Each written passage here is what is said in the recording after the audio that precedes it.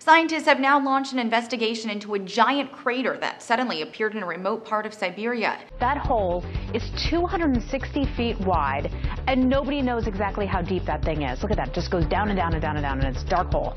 It's still a mystery as to what caused it. And Russian scientists will arrive today to try to determine what caused the hole. Even stranger, the area of Russia where the crater is said to have formed is ominously called the end of Earth. This new footage from a local television station shows the expedition team in the first close up look inside the crater. Russian scientists, along with members of the country's emergencies ministry, gathered soil and water samples for testing.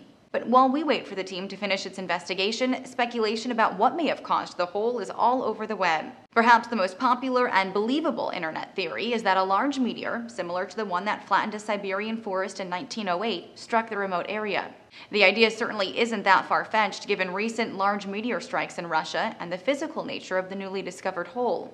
But according to RT, a spokesperson from the Emergencies Ministry ruled that theory out, but didn't explain why. And as to be expected, when unexplainable things appear on our planet's surface, people jump to the conclusion that a UFO landed, crashed, drilled, or exploded out of the Earth. But the Siberian Times explains experts are confident that a scientific explanation will be found for it, and that it is not evidence of the arrival of a UFO craft to the planet. Even scientists cannot agree on a single probable reason for the massive crater. One Australian scientist told the Sydney Morning Herald it's a pingo.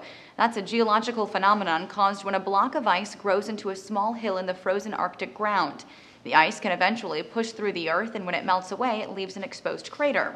But a Russian researcher in Siberia tells NBC the region is rich in natural gas, and a pocket of this, combined with water and salt, could have produced quite a large explosion if the permafrost were punctured by climate change induced thaw. It's possible scientists may never figure out what caused the hole. This crater found in Siberia more than 60 years ago is still puzzling researchers who have not been able to give a definitive statement on its origin. Although the latest crater was discovered just recently, researchers say the permafrost surrounding it indicates it could be several years old. For Newsy, I'm Lauren Gores.